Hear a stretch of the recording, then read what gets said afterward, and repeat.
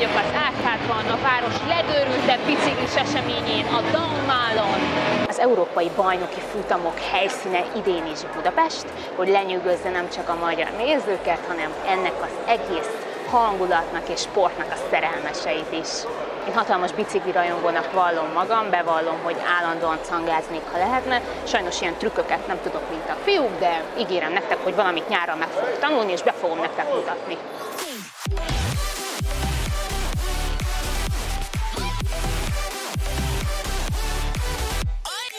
Sziasztok, Pénagy Tomi vagyok, és üdvözöllek titeket itt az Árkádban, a Dámolom. Most vagyok itt először, megmondom, egy kicsit izgulok. Milyen számban indulsz? BMX Freestyle. Uh-huh. És mennyiszer törted össze magad? Hát már jó sokszor. Most már 11 éve BMX-ezek, és hát bebecsúszott egy-két incidens. Reméljük a mai napot mindenki megúszza nagyobb sérülések nélkül. Sajnos ez ugye mindig benne van a pakliban egy ilyen sportnál. Mi volt a legdurvább esésed?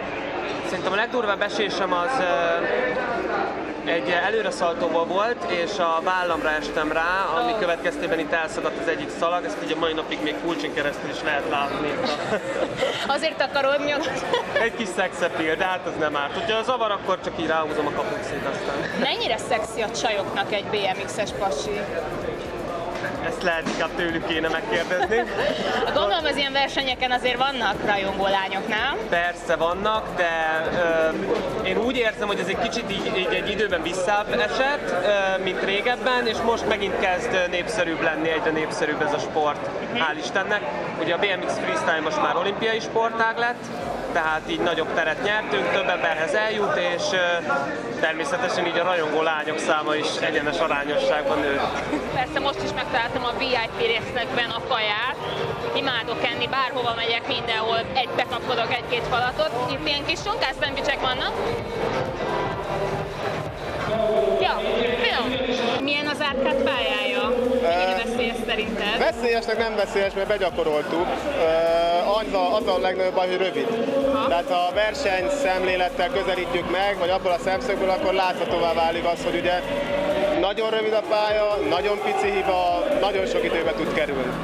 Tehát ez a kettőség megvan, amúgy ez, hogy uh, milyen sok ember előtt tudunk biciklizni, ekkora erőt és energiát adnak a nézők, és ezt viszont, viszonozhatjuk nekik, ez, ez egy fergeteges, mert alapjáraton ennyi ember előtt csak világkupákon és világbajnokságokon. És ha én most arra ébrednék, mondjuk holnap reggel, hogy szeretnék BMX versenyző lenni, akkor mennyit kéne gyakorolnom? Vagy mit kéne tennem első lépésként?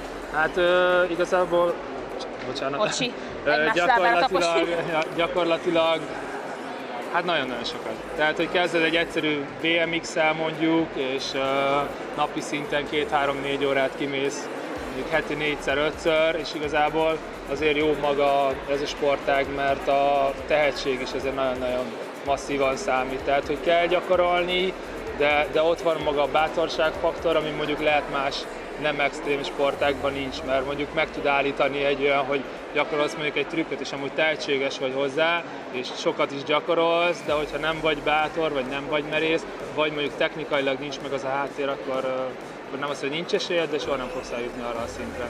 Most Hogyha szomorú holnap, hogyha lettem. holnap reggel felkelsz. Most szomorú lettem, pedig Igen. szeretek cangázni, de, de ilyen nagy ugratókon szerintem nem mernék. Brutális, brutális. És egyébként ez még egy középszín. Mert Pedig vannak azért- csajok, nem? Én láttam már a YouTube-on Van, pár. van, van, van egy pár persze, de azért ritkán, mondjuk snowboardba, gördeszkában több csaj van mondjuk. De miért nem vállalják be? Félnek, hogy elesnek? Mondjuk én Amúgy sem szerintem, de pont amiről az elején beszéltünk, ezek a sérülések. Tehát Ah. a legtöbb sérülés az ilyen apró, tehát itt, itt, itt mindenféle van. Itt van olyan, hogy így beérkezik, lehajlik a kormány, kitörik az összes fogat. Tehát Igen. Itt, itt, itt sokféle van.